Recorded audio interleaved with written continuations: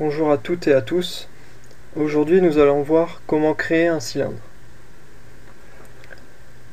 Donc on va ouvrir l'atelier conception mécanique, part design. On va rentrer le nom de notre nouvelle pièce. Donc cylindre. Ok. On va choisir un plan, par exemple le plan XY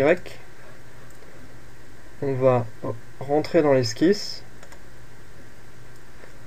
Dans l'esquisse, on va tracer un cercle, grâce à ce petit icône cercle. On va tracer le cercle au milieu du repère. Voilà.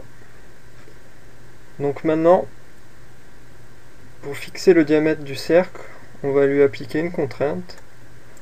Une contrainte de diamètre. Donc nous, nous voulons un diamètre de 20 mm. On va rentrer 20 mm.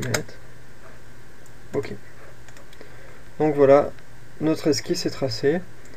On sort de l'atelier esquisse. Puis on va faire une extrusion.